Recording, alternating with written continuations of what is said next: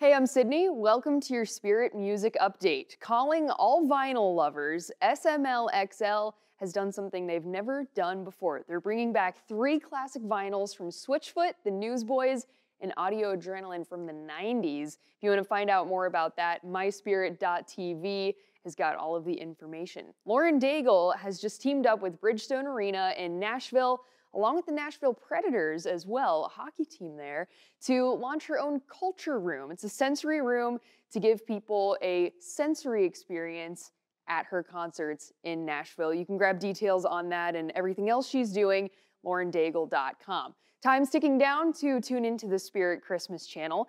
You've only got a couple weeks left. If you want to listen to that, myspirit.tv. That's been your Spirit Music Update.